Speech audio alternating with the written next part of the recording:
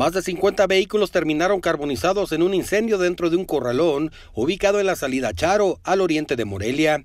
Las llamas iniciaron al exterior, en un predio vecino, donde sus propietarios no realizan de manera frecuente el corte de maleza. Al incrementar el nivel de las llamas y los fuertes vientos, alcanzaron un par de autos y se expandió a un bloque de unidades que se encontraban remitidas. Bomberos de la Coordinación de Protección Civil, tanto de Morelia como del Estado, acudieron para hacer trabajos y sofocar las llamas. Por su parte, el personal de la Dirección de Tránsito y Movilidad del Estado, a bordo de sus motocicletas y patrullas, realizaron el acompañamiento a varias pipas cargadas con agua para abastecer a las máquinas de bomberos. Luego de varios minutos quedó sofocada las llamas. Sin embargo, las autoridades hasta el momento no han dado una cifra exacta de los daños. Con imágenes de Diego Santoyo, Óscar Pantoja II, Grupo CB.